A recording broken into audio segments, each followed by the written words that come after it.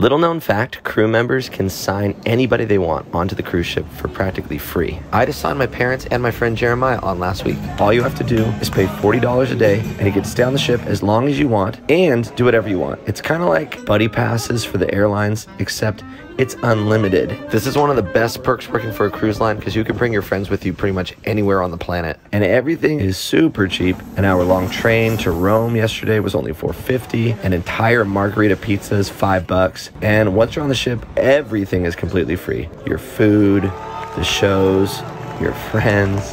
So, um, does anybody want to come cruise with me?